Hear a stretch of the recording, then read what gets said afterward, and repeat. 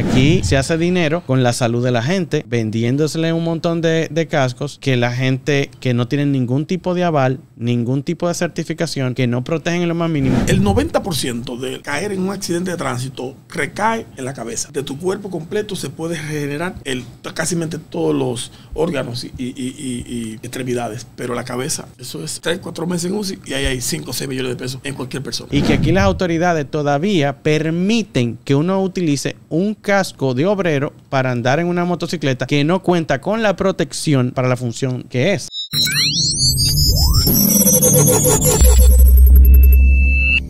Soy Jaime Claramún de la página de YouTube Revista Autopista. Estás escuchando Carros y más, programa número uno de autos en República Dominicana.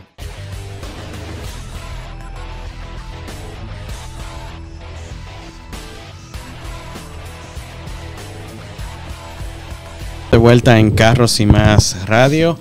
eh, y como siempre, trayéndoles eh, personas que puedan sumar al conocimiento diario, ¿verdad? Que se queden con ustedes estas informaciones. Eh, agradecerle también a Félix Guillén eh, que extendió esa invitación. Ah, ¿Cómo está usted? Él se asombró. Él todavía está esperando. Por favor, ¿eh? No hagan eso. Amado Arias de Casco RD con K. Gracias, de verdad. Bienvenidos, maestro. Bienvenidos. de todo tenemos aquí. Escúcheme que soy nuevo en estos menesteres de, de radio y televisión, pero haremos el mejor intento por llevar eh, información importante a toda la ciudadanía para ver si podemos salir de ese primer lugar que cuenta la República Dominicana. El único primer lugar en el mundo que tú no quieres, el que tenemos nosotros. Nadie lo quiere. No, no, no, no. Nosotros eh, muy agradecidos de, de conocer el, el tema de casco, la iniciativa, la fundación. Usted está muy involucrado en temas de seguridad vial o educación vial en el país. Y eso es bonito. Y yo creo recordar las empresas de eh, Am- Amado Display. Yo, yo creo recordar porque creo que fue una de las que más promoción se le dio en su momento determinado. Y si yo dije, pero cuando yo veo Amado Display, yo dije, pero es que yo vi mucha tienda de eso. O sea, yo vi la tienda, yo estuve pendiente de eso. ¿Cómo fue ese cambio? O si aún continúa con sus otras negociaciones, pero ha decidido irse por este lado. Mira, mi vida eh, ha sido fundamentada en la filantropía. Eh, mi familia, mi hermano es eh, catecúmeno el primero, el segundo es sacerdote, jesuita. mi hermana eh, lamentablemente falleció, pero nunca se casó. Yo soy el único padre, pero de familia, en la familia, porque, porque ellos no tuvieron hijos y yo tengo seis más mis nietos. Pero bueno, eh, la idea de que tu pregunta, el transfer que yo hago de una, de una situación, o sea, quería puntualizar eso porque es como querer siempre aportar. Sí, porque país. esto es vocación. Sí. Educación vial en este país es, vocación pura. No sé si ustedes recuerdan, eh, un, cuando éramos análogos, había un tema de, de- de unos muñecos que se ponían en las vías cuando había un hoyo, una cruz, Claro. Sí, claro. Ese era yo en esa época, estamos hablando de los 90. Wow, ese era usted. Sí, las cloacas que no tenían 90, claro, sí, sí, sí, Obrero trabajando. Exacto. Y, en la Semana Santa, todas las señales que tiran los policías, eh, el AMELO, el helicóptero, yo rentaba helicóptero en toda la Semana Santa para poner a la disposición de la Z101 con Willy Rodríguez. Incluso me inventé el helipuerto de Boca Chica. Ese helipuerto lo hice yo. Wow, porque Dios era mío. la parte de emergencia que ve entre la ciudad y, y- y- y- y Boca Chica. O sea que en un tapón tú no podías mover una persona No, no hay con- forma, hay cómo. con una situación. Entonces, todo esto viene al- a ese transfer de, de Amado Display, eh, la persona que de- humildemente desarrollé, transformé todo lo que eran las tiendas en el país hacia lo- la modernidad. Claro. Las planchas, etcétera. Sí, y sí, sí. Entonces, eh, cuando hago la- la- las dos combinaciones de la parte filantrópica y la parte empresarial, ese cambio dije a, a papá Dios, ya que yo creo con el deporte, con las, yo soy voluntario del Hospital de Leo Contreras, y veía todas esas situaciones de los motociclistas y de los accidentes en sentido general. Y yo dije, yo quiero como algo definido. Cabe resaltar que el cerebro suyo está bien puesto, ¿eh? Mm, Bájale algo, que no sabemos mucho, estamos aprendiendo. Queremos aprender y con, con ustedes, colegas o amigos, podemos seguir a- a- adelante. Gracias. Entonces, ese transfer es que una precariedad de ver, el ver ese momento Wow. de esa época y ver cómo podía colaborar con algo que es transversal en, en- en la sociedad dominicana, en todos los países. A todos nos afecta el tránsito. de una otra manera. No importa si tú estás en la barriga de tu mamá o si tienes Donde 200 sea. años, es lo No, mismo. sea. Entonces. ¿cómo yo puedo eh, eh, aportarle a mi país? Dejar una, dejar una huella. No ya tanto empresarial como lo fue Amago Display, que se hizo a nivel de los 48 mil kilómetros cuadrados, conocen esa marca. Pero esa es la parte económica. La parte filantrópica, la parte de, mi- de lo que me mueve a mí como, como ser humano, es el tema de, de- de salvar vidas, de llevar bienestar, en cualquier sentido, deporte, eh, ancianos, hospitales, etcétera. Y yo dije, me voy a poner en esto. Y en esa época me puse a indagar y averiguar y a aprender un poco de lo que es la, la- la- la seguridad vial. Y al momento, todavía tengo 56 años y lamentablemente todavía no se entiende en mi país. Es de esa- es- o Sí, sea, sí, sí, tomé. Una, tomé una carrera, tomé algo como que, como que es muy, es, es muy cuesta arriba, porque no encuentras coro, no encuentras, eh, como ya se dice en esta época, no encuentras view ni like. No, lo que te decía al principio, digo, yo sé que el trabajo es duro, el objetivo es claro, pero fruto de la idiosincrasia de nuestro país, no entendemos. Lo que pasa es, mira, de entrada, eh, el Estado nunca ha, de ninguna manera ha estimulado al tema de la gente que promueve la seguridad vial. Eso no ha pasado. Aquí, no a la franca. eh, nosotros incluso duramos dos años con un segmento solamente que se llamaba conciencia vial. Sí. Porque conciencia, porque ya tú lo sabías, pero era recordándotelo. Eh, y no y mira, nosotros teníamos unas conversaciones muy, muy internas y muy íntimas con, con, con- no, y, y con Intran, para ponerte un ejemplo, eso nunca, no, y no se trataba de poner una pauta, se trataba de que involucraran al equipo para hacer eco de las, de las cosas. Entonces, en, en ese tema de, de educación vial, la última vez que, cuando estaba eh, Arias, Rafael Arias, eh, le- le- en su despacho le dije, eh, y él lo sabe, eh, las redes de Intran parecen un culto a su presencia. Sin embargo, eh, nosotros, o sea, la población necesita que se les recuerde cuáles son las leyes del tránsito, que son cosas tan básicas que no hemos llegado a, a lo suyo. Y sencillas. Estamos hablando de que para qué son las dos, las dos líneas, las dos líneas amarillas, la línea intermitente, para qué sirve cada cosa, qué significa, que son cosas Básicas. que están allí Y y, la, viejas. y la gente no lo sabe. Que se supone estaban en el manual de conductor. Me, me, di- me dijo la que era la directora o la, la cabeza de la escuela de, de, de Nevial. Me dijo, sí tenemos la cuenta. Digo yo, enséñamela. No, mira, la tenemos eh, elegida. Digo, ustedes no tienen nada. A mí, me dijeron a mí. Y le digo yo, "Eh, eso no es. Es que esté. Es que se promueva. Es que se explique cuándo sí, cuándo no. Cuándo se hace una buena acción en la calle. Que la gente lo entienda. Y así por lo menos no nos queda el que hubo un accidente por falta de información. Y entonces, y ni hablar de esto que usted trajo hoy, que el temazo. Que aquí se hace dinero con la salud de la gente, vendiéndosele un montón de, cascos que la gente que no tienen ningún tipo de aval, ningún tipo de certificación, que no protegen en lo más mínimo y que aquí las autoridades todavía permiten que uno utilice un casco de obrero para andar en una motocicleta que no cuenta con la protección por la cual, o sea, para lo que está, para la función que es. Es que hay un criterio, no sé en qué estamos pensando. Compramos un simulacro de casco No, te- para evadir la multa. No, y te permite- Oye, no es para cuidarme. No, te, te permite, oye, me te- sí, claro, y te permiten a ti un casco craneal en medio de la carretera. Hermano, usted está en carretera, en alta casco de velocidad, obrero, tiene que casco ser un de béisbol, No se casco- explica. eh, Mira, No se lo, que, lo que sea fuerte que yo considere, amarrado o que sea nada. plástico, y va en la cabeza es un casco. Háblenos, señor Amado. Incluye vacinilla. eh, Sí, sí, sí, sí, Sí, claro que sí, de aplica. aluminio, claro que y sí. la pin- de aluminio, no, sí. si el aluminio te protege. Sí, se la ponen de aluminio y se ponen. no, eso, eso es increíble. de aluminio, eso es un- un- una joya. ¿eh? Te ves. Es la plástica, la azul y la rosada. No, y son capaces de ponerle un letrerito que diga DOT atrás. No- Normal. Que, mira, verás lo que. Amado, lo que a mí me llamó la inquietud la primera vez que coincidimos en un evento, digo, DOT, casco. Uno mirando casco hace 15 años que es por figurita, yo quiero el verde, yo quiero el azul, ese más grande, el que baja la visera. No, y está la Y regulación un europea, que es casco ese. certificado. Sí. ¿Cómo nace eso? Mira, la homologación es que te, que te que pasa los procesos de laboratorio para poder llegar realmente a, ser- a poder ser certificado. La certificación es una carta de origen, de fabricación, que te dice que realmente esa homologación está fiscalizada. Y pasó por Son las pruebas pertinentes. Homologación, certificación. Sí. Lo dice su nombre. Entonces, ¿qué pasa? República Dominicana nunca ha tenido concepto de seguridad en nada.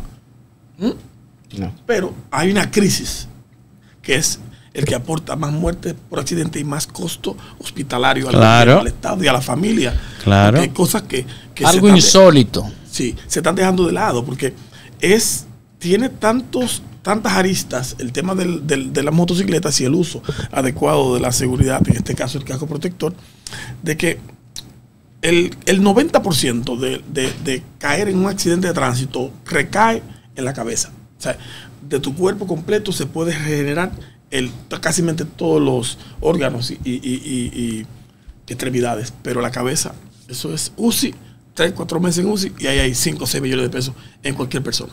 Sí, lo que pasa es que la gente no, no se imagina, porque no está inmiscuido a la hora de hacer los pagos de, lo- de los problemas, y no se imagina que el primer estudio cuesta más que el caco. O sea, tú no has cruzado bien la puerta con la analítica que te tienen que hacer para ver qué es lo que tú tienes, y ya tú has comprado caco, ya que bota, Sí. guante, Y, y el motor y, también. y fácil. el exacto. Hacer el motor. Entonces, para, para el tema de cómo, de- del tema del casco, eh, nace con esa iniciativa que dije al principio. ¿Qué puedo hacer con 3 millones 500 mil? En, bueno, en esa época en el parque vehicular era mínimo. Sí. 300 mil, 500 mil motocicletas. Ahora el parque vehicular cuenta con, con 4 millones y pico. Vamos del pico. para no Registrada, llegar a ¿eh? cinco. Sí, las la que no tienen registro, que vienen por piezas. por Registrada, partes, ¿eh? por diferentes muelles y puertos, más lo que los mismos empresarios eh, alman también. O sea, traen 500 y se dicen que son 200 y quién se la va a fiscalizar. Pero no entremos en ese tema porque ya es un tema que Es otro de- tema, de claro la que sí. conversación, sino nos, nos enfocamos en el tema del uso de casco certificado al Estado Dominicano. Le sale más económico regalarle el casco, señor presidente. Sale más económico regalarle el casco con ciertas eh, exigencias. ¿eh? Claro. Si tú tienes tu luz Claro. delantera, trasera, tu, cuestión, tu licencia, tu papel, yo te regalo el casco. Y le sale más barato al Estado y a la familia dominicana le sale más económico porque un casco que oscila en 60 dólares, 70 dólares, que ningún casco con homologación y certificación puede costar menos de ahí. ¿Mm? Porque la certificación y la homologación cuesta un dinero porque pasa por, por unos estándares. Ya, ya, ya conocemos Entonces, aquí cómo es. eh, eh, eh, eh, es eh, penoso, penoso como yo tengo esa iniciativa hace más de cuatro años. Yo he hecho hecho de mediodía y todo el poder, y nadie hace caso. Ojalá que alguien de las personas que están cercanas al presidente, si están escuchando este programa, le presten atención a eso. Lo que sucede es que para eso se, me, se requiere un apoyo máximo que le den a usted. Y las personas que, Es simplemente. las personas que, que estén interesados en que las cosas mejoren, eh, es algo sencillo. Oye. porque usted lo que necesita es el apoyo, que le den el apoyo para que las cosas eh, mejoren. Y se requiere un conjunto de personas, porque yo estoy preocupado, nosotros estamos preocupados cada día más por el tránsito. Yo, Aquí- cada vez que salgo a la calle es un estrés extra- extraordinario. Aquí- Pero se, se requiere que todos nos unamos, pero que a usted, una persona Mira. del perfil suyo, se le dé el, el apoyo Mire, Amado, a mí me tocó ir eh, por el gobierno a una reunión en Washington, le, he explicado varias veces. Lo que pasa es que esa reunión fue tan grande, fueron dos días, que acaparaba varias áreas. Donde estaba el Banco Interamericano de Desarrollo, estaba el Latin ENCAP, estaban todos los ministros de transporte del- de América Latina completa, Brasil, Honduras, Nicaragua, Paraguay, México. Estaban todos los, los ministros y, y estaba la Universidad de Chicago y estaba eh, Hola- el, el ministro de, de Holanda em, que tuvo ahí que ha hecho unos cambios importantes en las carreteras. Esa carretera tiene una, un tipo de tecnología increíble. Cualquier cosa que le pasa a la carretera, manda un aviso y va el equipo en menos de 24 horas tiene la carretera. Igualito Se le va un pedacito a la carretera. Igualito. La carretera tien- tiene una tecnología que la lo avisa. Y ellos van y los reportan en menos de 24 horas. La carretera tiene que estar intacta porque ellos dicen que una carretera en buen estado reduce la mortalidad. claro y, que que la, Y la carretera fue creada para que para evitar los accidentes. O sea, ellos crearon la carretera no para comunicar el punto al punto B. Ellos crearon la carretera teniendo eso en cuenta lógicamente, pero para evitar accidentes de tránsito. Entonces, todo el marco y la arquitectura de la carretera es para evitar eso. Pero hablando de este tema, para que usted sepa, Son cinco estrellas que tiene que tener una carretera. Las carreteras en el mundo se miden por estrellas. La iluminación, la señalización, el tema de lo que tú decías cuando hay un deterioro en la vía, el tema de lo, de, de lo que allá aquí llamamos paseo, el tema de las barandas, todo eso son lo que hacen que tenga estrellas. Las de aquí no tienen ni una ¿Cuántas estrella. estrellas tenemos No, nosotros? no existe la estrella. Las que salen en el cielo, Vamos. que te van a llevar. Para decirle lo que, lo que, lo- lo que se conversó ahí, y que lo, lo hemos dicho aquí en el programa, en esa conversación que nosotros tuvimos ahí, era donde el Banco Interamericano de Desarrollo está preocupado porque la cantidad, el país no progresa más porque el dinero de progresar como país Se invierte en se salud y en yendo, accidentes. se está yendo en, en accidentes de tránsito. Increíble. 1.400, 139 mil millones de pesos anuales, que es representa el 2.2 del PIB de la República Dominicana, solamente en gastos médicos para accidentes de tránsito. ¿Cuántas escuelas se hacen Sola- con eso? eh? No, no, No, Otra pero- República Dominicana se hace. No, y que la en gente, cinco años. Y que la gente no está entendiendo. Si el, el cabeza de la casa, que es el motorista que anda en ese motor, tiene un accidente de tránsito y queda inhabilitado. Aumenta la delincuencia. No, y no solamente aumenta la delincuencia. Esa familia entra en un estado de miseria absoluta Deterioro. porque el proveedor de la casa era ese y ya está inhabilitado Está porque fuera no- de combate. porque era- fue un golpe en la cabeza. Él se rompió un brazo y una clavícula, pero se dio un golpe en la cabeza. Y ese golpe lo deja inhabilitado, ya no puede conducir. La, ¿qué, qué va a hacer la mujer? ¿Para dónde va el muchacho? A delinquir. ¿Entiendes? ¿Cómo mantiene, cómo mantiene el mismo, el mismo estilo de vida que tenían, que por lo menos le permitía comer al mediodía, Sobrevivir. sobrevivir, ir a la escuela o algo así? Ya no puede pasar ese tipo de cosas. Por eso el casco y la medida de seguridad en temas de tránsito Wow. son tan importantes. Mira, hay unos fundamentos que el, que el Estado no ha, no ha visto. Imagínate que yo te tome ahora y te dé una clase de motocicletas. Te doy una charla, te doy el, el- el teórico, te doy el práctico. Bien, pues lo pasé. Estoy bien. Aquí no se hace nada, nada de eso. Para adquirir una licencia de motor en todos los países es más exigente que la de un carro. Claro. Por el, por el riesgos. factor riesgo que Factor tiene riesgo. el motociclista y la debilidad en el triángulo de la seguridad vial. ¿eh? Donde el peatón y el motociclista son los número uno de más riesgo Claro. en, el, en, en, en, en De todos los sentidos claro. de mortalidad. Entonces, ¿qué pasa? Te di el curso, te di la charla, pásate con 100, el tipo se mueve bien, encrocha bien, sabe como una frenada delantera, trasera, por qué, cuál es la sinergia del motor, que hay que frenar en agua, cómo frenar. Lo pasaste. Mm. Ok, tiene un caco de 200 pesos. Y vino un, un, un chofer de carro público a abrir una puerta. El Se mató como quiera. ¿Qué es lo que yo le digo al presidente? En lo que, en lo que vamos a educar con esto a todos los niños y a- incluso a los... eh, aquí esto llega hasta el papá, porque el libro del niño se entra a la casa, ¿verdad? Sí. Y puede ser que el papá coja algo. Ahora bien, yo te voy a dar casco antes de enseñarte a montar motor, antes de, de darte toda esa práctica. Mira, ese es tu hermano, tu papá y tu confidente y tu amigo. Te lo voy a facilitar a crédito como tú entiendas. Te lo voy a hacer llegar. Bono, hay bono gasolina, te doy un bono casco, ¿eh? que es un bono vida. Un bono gasolina tú no Sí. lo ves, pero un bono casco yo lo veo, que el gobierno está apoyando la situación. Sí. No lo han entendido todavía. Pero ¿qué sucede? Que cuando te caes, tiene el riesgo minimizado en el golpe más contundente y más peligroso que es la cabeza, como ya lo hemos dicho. Entonces, yo de ese mismo momento, lo que voy invirtiendo en esos cascos, ahí me voy bajando la mortalidad en el país. ¿Tú sabes lo que yo sí. haría? Mira, eh, eh, Amado, yo no estoy de acuerdo 100% con que se les regale el casco. No, tiene que porque costar. tiene que costarte algo. Para que te duela, Sí, para porque, que puedas. Porque si no, Lo venden más para adelante. Lo que yo sí estaría de acuerdo sería que el plan se haga de la siguiente manera. Y no sé, son ideas que a uno se les, le surgen aquí en la mesa. Excelente. Eh, tú compraste el caco. Y si, y si tú me devuelves el caco estropeado porque tuviste un accidente que casi te mata y tú me enseñas la foto de, de tu accidente, de la situación, y el caco de barato, yo te entrego otro nuevo. Y ahí mantenemos el ciclo de que la persona siempre esté protegida. Yo- y, yo- y ni- fue como un seguro, pagar el, el- el primero. El primero, y el tipo se dio cuenta que está vivo porque tenía puesto el caco, va a la fundación y tú me entregaste este caco y yo para entregarte ese tengo que dejar un, un file un archivo de que de verdad ese casco salvó una vida y entonces te entrego otro más. Ahí yo estaría 100% de Si acuerdo. ha hecho esa propuesta, Amado, No, yo la tengo todavía mejor. Ah, Te voy a pues, decir cómo. claro. Adelante. Por favor. Mira, y no me importa que la copie nadie.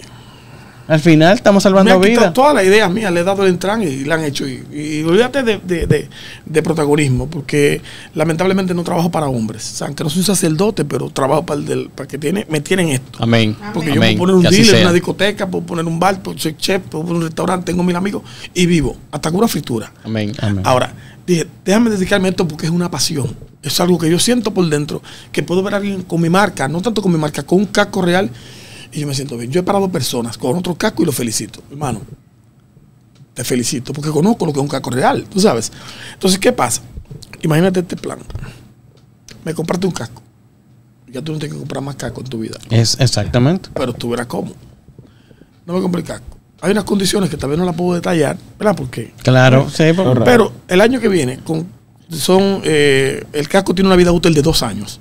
Hay que cambiarlo a los dos años, un casco protector, si no tiene gravedad de caída, etcétera. Bien, entonces yo te lo voy a cambiar en 16 meses. Te lo doy cero millas, nuevo. Ya yo tengo tu historia de quién tú eres, qué trabaja, qué hace, qué no hace. Entonces, con unas otras cosas que van a hacer para yo poder sostener el proyecto, tú vienes a los 18 meses, no pagas seguro, el casco trae un seguro, el casco trae tu información en un QR y yo te entrego un casco nuevo. Cojo el viejo y si te lo robaron, tienes que traerme los papeles de la policía. ¿Me entiendes? Todo porque Claro. hay ciertos trucos, pero bueno, Claro. la idea de que tú no tienes que comprar casco más. ¿Cómo? Yo compro un casco y estoy en un club. Y después que estoy en un club, no compro casco. ¿Y cómo es? Ahí está el secreto. Pero yo voy a, para poder, eh, para poder cambiar esta cultura, para que esta, ¿cómo lo puedo llamar? Eh, eh, cultura, ignorancia, descuido, no, no, no, consecuencia, no sé cómo llamarte, pero cómo poder cambiar la mente a personas que se están muriendo día a día y su vida de ellos mismos no le importa. No sé si tuve conocimiento Sí, por sí. la patana, por lo Sí, lo que sucede es que se requiere eh, que nos integremos todos, principalmente las autoridades. 829-660-3305 de Casco RD. ¿Es así? Sí, correctamente. Con K. Con K. Porque cascos con, con doble K es seguridad. Mm. Sí, sea, yo busqué esa palabra, me la inventé y cuando la busqué el significado, se, se- significa coincidencialmente que es seguridad. O sea, eso es un- Asegure, asegure su cabeza. Tenemos. Se fue una llamada 829-660-3305. Estamos con el señor Amado Arias eh, de Casco Cascos RD. Más conocido como Amado Display. Como Amado RD Display. no. Sí, Amado. pero, pero aquí tenemos los cascos y son Sí, cascos sí. con un aval de certificación internacional. Y eh, entonces tenemos estos cascos. Los cascos no están, disponibles para la venta. ¿Cuánto cuesta un casco de esto? Mira, eh, un casco cuesta. eh, el- Por ejemplo, este que este modular que nosotros ese, tenemos. ese modular eh, es, eh, es el casco integral, es el abatible. Este es el abatible, el integral es el que no abre. Sí, claro, Entonces, que, que este el full casco face. cuesta 4.500 pesos. 4.000. 4.500 pesos. Pero el motor cuesta más. 120 mil el más barato, de un motoconcho. Y hay que pagarlo diario, Correcto. o semanal. Es, es lamentable eh, eh, cómo ellos pueden eh, eh, tener un celular de 10 mil pesos y no tener un casco que lo proteja. Yo diría, por eso es que se requiere que todos nos integremos, pero se requiere principalmente la voluntad de las autoridades, porque cuando yo veo que esas, esas, esas acrobacias en la 6 de noviembre, esas acrobacias incluso en el centro de la ciudad no se han podido corregir, yo digo que algo, algo está pasando. Mira, la voluntad política, como decía fuera del aire. ¿Será que esos Es- acróbatas no lo siguen a ustedes en Instagram ni ven sus, sus videos Sí, ni nada de mira, eso? eh, Eso es un tema sociológico realmente. Porque recuérdate que un joven de lavapié que echa las carreras ahí en la 6 de noviembre, desafortunadamente. Que no son gratis, no- ¿eh? No, claro, hay dinero. No son gratis. de muchas cosas que no tenemos que entrar en esos detalles. Pero si tú te pones a analizar, la juventud aquí no tiene ocio. Está, está en ocio primero. Son ninis, ni trabajan ni estudian y también tienen que llamar la atención en su pueblo. Son personas que no hay una cancha, no hay una piscina, eh, no hay un lugar donde hacer eh, manualidades. Y etcétera. muchas veces lleva- llevan acompañantes, llevan Y- muchachitas y- atrás también y montados. yo, yo lo digo por mí. Yo soy motorista que tengo nueve años. Y yo andaba duro en los motores. Un parque vehicular mínimo, pero yo andé en una goma, eso era. Yo tengo que decirlo, ¿eh? Y si Dios me protegió para estar aquí hoy, Amén. es para devolverle con esta acción a, a- a que me, me, me- me salvó la vida. O sea, nosotros echábamos carrera. Yo tengo que decirlo. Pero es que lo que teníamos, yo soy clase media y, y, y, y yo con el grupo de muchachos que eran mecánicos, yo voy para allá, para lavapiés. Un motor, la hecha carrera. O sea, yo no era piloto, piloto, pero si yo corríamos duro, andábamos rápido en esa vía, en esa Famoso corte triwilly. Entonces, eso se lleva en las venas. Entonces, esa juventud, yo, yo siendo la, la DGC, yo los domingos a las 5 de la mañana, 6 de la mañana, cierro una vía, pongo dos ambulancias, ¿eh? Los registro a todos, todos por un registro. Se lo dije a Arias eso, al, al Sí. director. Vamos a registrarlo. Y de ahí vamos a coger muchachos que son franqueadores naturales. Son, Sí, sí, son sí, sí, sí. internacionalmente. Sí. Vamos a buscarle lo positivo a los muchachos, porque no hay el, el tiempo de ocio, de diversión. Ellos necesitan un espacio, claro hay que sí. que sacarlo. ¿Tú, que- tú quieres, hay que te, sacarlo. ¿Tú quieres que te diga? Habilitarle áreas. Sí, yo necesito un espacio. tú, tú- tú agarras y habilitas un área porque y lo saca de la vía. No, pero espérate, perdóname que te interrumpa ahí, ese proyecto yo lo tengo. Si tú tomas la 6 de noviembre, tomas un tramo, el tramo de dicha carrera, y cierras y abres aquel tramo, en ese tramo, a dos carriles y pones realmente eh, la velocidad que va en ese carril, porque a las 5 de la mañana, a las 6 de la mañana, domingo nadie, nadie en la calle. Nadie. El mínimo. Y ese carril que le gusta de noche correr, Y lo hacían en el Tour de las Américas también. me lo hacen en las Américas, me lo hacen en Vamos a una, una calle, de, de esa calle, perdón, y le vamos a poner la protección. Y tienen que pasar por exámenes. Dame la licencia. De Claro. corredor, tengo Alco- un alcoholímetro. Dame el alcohol, dame la droga. Para que el tipo vaya cayendo. Porque tiene peso arriba. Sí. Claro. De- Mira, tiene casco, tiene chaqueta. Entonces la voy poniendo al paso. Ese Pero casco no aplica. No es para cerrarlo, ¿eh? No. Ahora, son unos para- acróbatas porque trabajan a capela. No, mi hermano, eso tienen uno, un ovario grandísimo. Sí, sí. Pa- una- Sí, bueno, sí, un asunto bola, perdónenme el término a los, Tranquilo. a los oyentes. Ah, todo el mundo entendió. Nadie a esos motores, esa velocidad.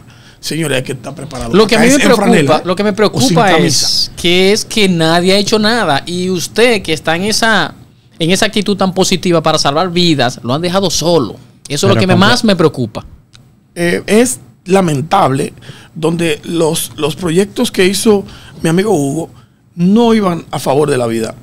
Cuando tú hablas de parquearte bien, y, no- y felicito esos proyectos, pero cuando tú hablas de parquearte bien es dinero, multas. Cuando tú hablas de poner una calle en vía, no salva vidas. Cuando tú hablas de, de marbetes, eso no salva vidas. Cuando tú hablas de semáforo, incluso, a- aumenta el, eh, o facilita 20 minutos, 10 minutos la movilidad urbana, ¿ven? pero no salva vidas. Ahora, ¿qué tenemos para salvar vidas? A, a- a- a lo que está No, y, pasando. no, y déjame decirte, cuando se hizo, se hizo el estudio, es que tan fácil cambiar el número de tú tener un número tan grueso a uno tan bajito solamente con los motociclistas. Pero, O pero- sea, el número, el, el, el target, el target para tú bajar incluso tu perce- la percepción que no tienen como país en tema de mortalidad por accidentes de tránsito, para cambiar esa percepción, tú solamente te enfocas en los motoristas y bajas un porcentaje mínimo en los motoristas y tú bajaste el número del ranking feamente en la Pero se necesita sí, una sí. gran voluntad. Sí, no, yo, y yo estoy de acuerdo completamente. Sepa usted, se, nos fue el, el tiempo, señor Amado, que este medio y los medios de carros y más están completamente abiertos para promover eh, la, la vida. Porque esto es una manera de promover la vida. Esto yo no lo veo, eh, esto, esto, esto no es un tema comercial. Esto, esto es un tema de que ahorita le damos un consejo a alguien, y alguien, se- alguien adquiere un casco de mejor calidad, quizás no el suyo, pero uno de mejor calidad, y al final le está preservando su vida. Y eso nosotros lo aplaudimos aquí. Sí, de verdad te agradezco este, este momento de poder llevar esta información. Y esto es un proyecto para mí humanitario. O sea, esto se vaya de Vidas, salvar vidas. Humanitario realmente. Y- y hago este grito desde aquí a las autoridades, a mis amigos políticos, presidente de la República. Eh, eh, por favor, vamos a ponerle el frente a esto porque cada vez que se pierde un joven de entre 16 y 25, 30 años, estamos perdiendo la juventud dominicana por algo que se puede cambiar en la República. Así mismo es. Recuerden, eh, por favor, seguir en arroba Irma Novoa, arroba Dayana Jose, arroba Carros y Más Media, Arroba NS Autoasesorías. Arroba arroba Arroba Fundación Amado Vial. Y arroba Guarobinas. Esto fue Carros y Más Radio.